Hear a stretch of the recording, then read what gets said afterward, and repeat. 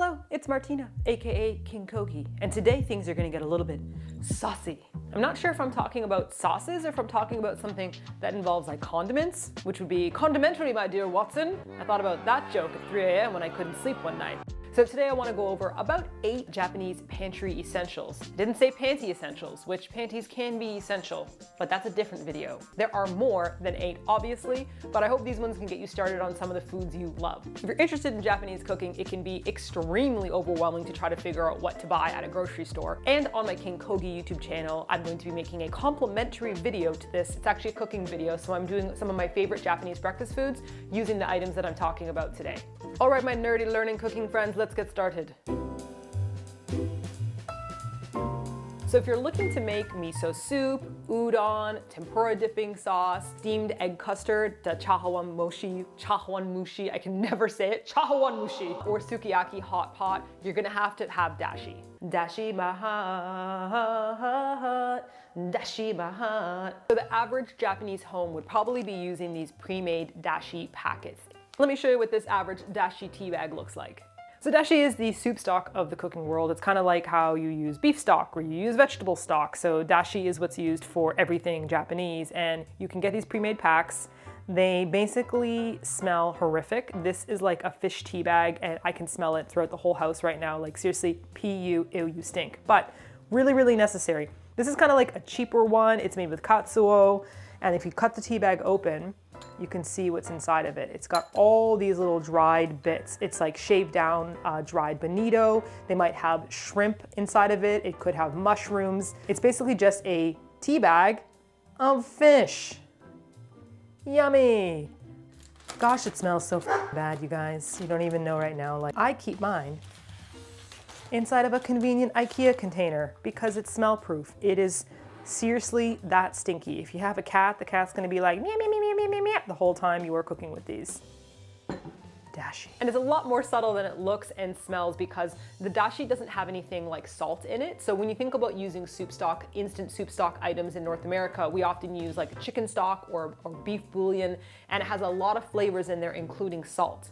This doesn't have any additional flavors like that. It really is dried ingredients like making a fish tea. The flavor is quite subtle and so you will add to it. For example, you'll use it for making miso soup, but you have to add things like miso to it.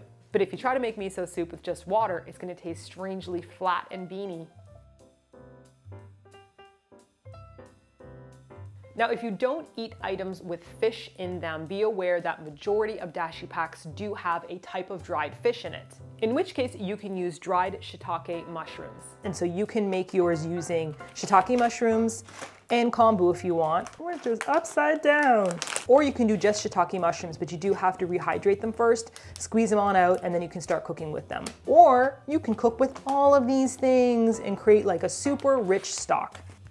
So you can also make your dashi from scratch. You're gonna need kombu, which is seaweed, and it's been dried. It has all this kind of like white stuff on it, and that is natural MSG. And people will say that you can like wipe it down with a soft cloth in order to get rid of anything like maybe some stones or grits, but you don't wanna like wash this off. This is what you need to soak to create the actual soup base. Oh, and make sure you don't throw out the mushrooms once they're rehydrated. You can chop those up and use them inside of soups and stir fries and other items. Another important ingredient to have around is Skillshare, the sponsor of this video. Highly nutritious, good for your brain, filled with vitamins, because it's all about learning. Skillshare classes combine video lessons, class projects, and hands-on feedback, with short lessons that can fit anyone's schedule. That's right, you can get your bake on. You can learn how to hand drip coffee from someone from Blue Bottle. And one of my favorite classes, show us your balls. It's about making meatballs. But wait, there's more. With Skillshare, you can slice, you can dice, you can learn how to make julienne fries. And turns out my love for Skillshare has turned into an excellent bonus for you guys. I got an email from Skillshare and they were like, okay, this is only for select creators, ones that we think are really kind of funky and cool and have their authentic selves going on. And I was like, oh my God, are you flirting with me? Because I'll take that. And so they are providing just a select few of their creators with an exclusive discount for you guys. You can get 30% off the entire year, which is like three months free. And this is an exclusive offer that they've never done this discount this big before. So This is your chance now to show us your balls or to do illustration or design. Get your Skillshare on. This is the best discount Skillshare has ever offered. Sometimes it just pays off to be a little bit crazy. Show us your balls! Thanks Skillshare for sponsoring these videos and for putting literal food on my table.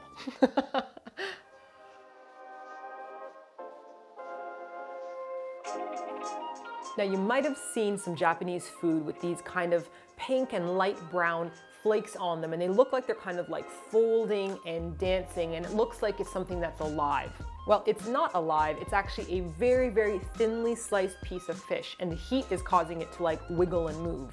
You've probably seen it before on okonomiyaki, that's that savory pancake, or maybe something from Osaka, like they have like the octopus balls and sometimes they add them on top of that. So this is actually fish, it's bonito. And they cut them into these like slabs and they're dried, smoked, and fermented, and they are absolutely rock hard.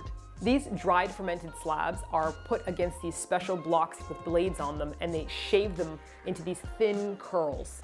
Thin curls that look kind of like this, but this particular type of katsuobushi is used for seasoning on top of things like tofu or on okonomiyaki. It tastes a little bit lighter and it's shaved quite thinly. You can also buy a different type of katsuobushi that's used for flavoring your soup. So if you're making dashi from scratch, which I've made a video before on how to make dashi, you put those on top of the hot water and it kind of soaks in and creates that smoky, slightly fishy taste. You can also feed it to your kitty cats. It is a really nice way to take something that's simple like tofu and add a little bit of the katsuobushi on top of it, maybe a little bit of shredded ginger, a little bit of sesame oil or soy sauce, shoyu, and you immediately get that Japanese flavor bang. And it's diverse because you can use it for making soup, but you can also use it for raw items.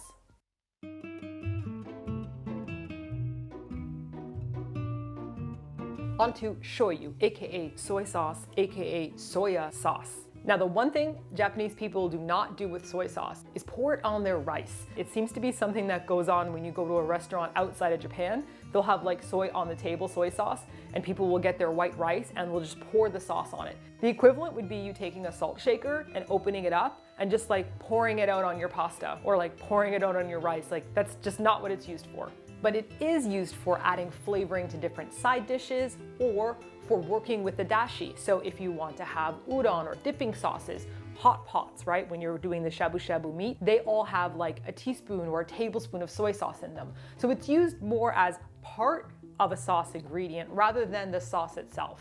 Even the soy sauce you use for dipping your sashimi or your sushi in can be a different type. Now be aware, that not all soy sauce is made the same. Think of it like salad dressing. You can get yourself an Italian salad dressing and you might have one that you like more than another one because maybe it's sweeter or maybe it has a more vinegary taste to it or maybe it has some kind of herb in it that you really like. Soy sauce is also made in many different ways resulting in different types of subtleties and saltiness. Some are better for eggs, some are better for making a soup with. So make sure you try more than one brand if you can. And if you come to Japan, this is your chance, you guys, to put this in your luggage. There are cheaper soy sauces, like this one is a lot cheaper, but it doesn't have like the depth that something like this kind of a soy sauce would have. This soy sauce is made in the traditional way. And how the heck is soy sauce made? So first you've got the soybeans. They are steamed and then they take wheat and the wheat is roasted and then it's crushed. Then you've got koji. Koji is the bacteria that they use to ferment it. So if you make any kind of bread or if you make any kind of yogurt, you usually have a bacteria starter. So they take the steamed soybeans, they take the roasted wheat that's been crushed and that has that flavor to it. They add it to the koji and then they put that all in like salty water magic and then it ferments. Then it's pressed and it's bottled. Every single factory has a different way of making it. They might have different soybeans they use, different wheat they use. Some soy sauces ferment for years. You can imagine the flavors. It's kind of like getting an old cheese. You can get old Parmesan or old aged cheddar and they all taste different. But no matter what kind you get, you must have soy sauce in your house for a pantry staple when working with Japanese food.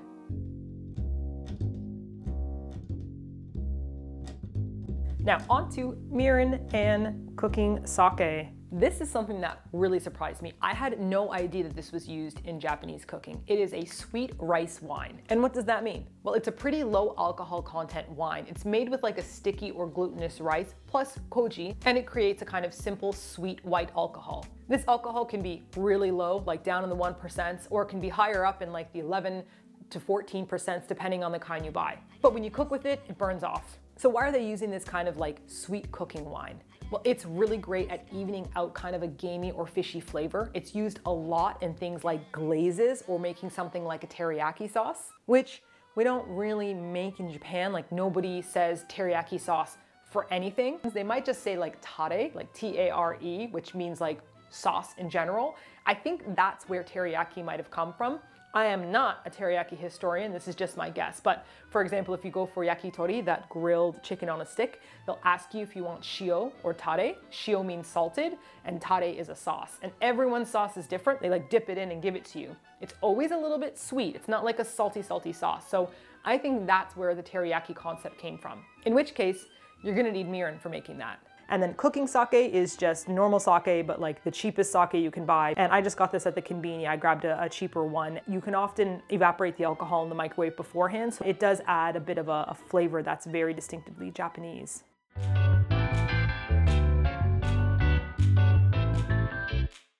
Let's talk about miso. Now, a lot of people think of miso, they just think of miso soup, but it actually goes way beyond that. You can use it to make condiments. You can use it for dressings like salad dressings or for putting it on top of vegetables. The breakfast dish that I make on the King Kogi channel is gonna be focusing with miso. You can also use it in a marinade or you can use it baking things. I've had some incredible miso crusted fish. It's sweet, it's savory, it has like texture to it. And the good news is you don't have to use that much of it. So if you do decide to buy a pack of miso, it can last you quite some time.